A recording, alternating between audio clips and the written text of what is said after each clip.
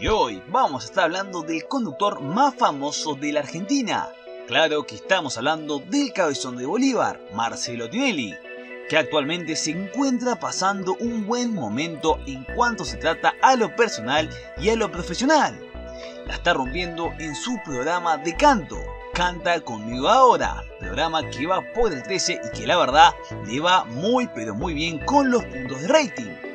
Pero sin dudas que no todo es alegría en la vida de Marcelo Tinelli. Hace aproximadamente 5 meses se separó de la mujer con quien tuvo un hijo, Lorenzo Tinelli. Claro que estamos hablando de Guillermina Valdés. Después de 9 años de estar juntos y la verdad que se los veía muy bien, hasta compartiendo vivienda desde muy temprana la relación decidieron poner un alto a la relación. Y todo fue en mal en peor.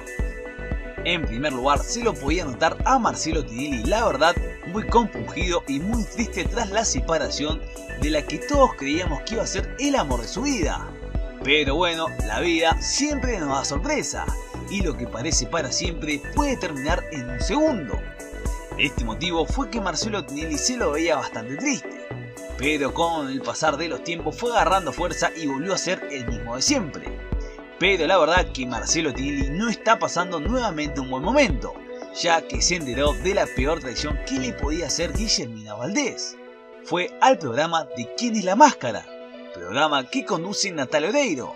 Guillermina Valdés fue al programa que compite punto a punto, segundo a segundo, con el programa de Marcelo Tinelli. Así es, si estaríamos hablando de un Boca River, ella se fue al clásico rival a jugar. Cosa que no le gustó nada a Marcelo Tinelli y sin dudas que le olió, como a cualquier persona. Ella vive en el piso debajo de Marcelo Tinelli, porque viven en un espléndido departamento en Puerto Madero. Comparten casi, casi la vivienda. Es el padre de su hijo y ella tomó la decisión de participar en el programa que le hace competencia todas las noches.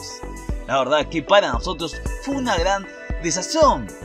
Pero ahora te queremos preguntar a vos, ¿qué pensás de que Guillermina Valdés haya ido a Quién es la Máscara? Programa que compite con Marcelo Tinelli. ¿Está bien? ¿Está mal? Queremos leer tu comentario al respecto.